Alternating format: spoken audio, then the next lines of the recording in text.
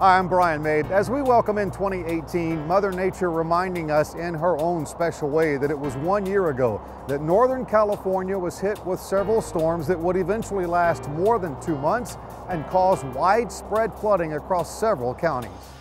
The first full week of 2018 will end with rain predicted for most of California.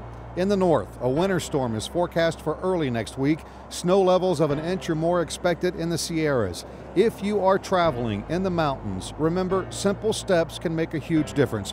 Watch your speeds, allow extra time, make sure you have chains or four wheel drive, and it's always good to have water, flashlights, blankets, and a few simple supplies with you. And Southern California may see significant rain for the first time in five months. A potentially strong storm with gusty winds expected for next week. There is the potential for flooded roads, downed trees, and power lines, and traffic closures or delays.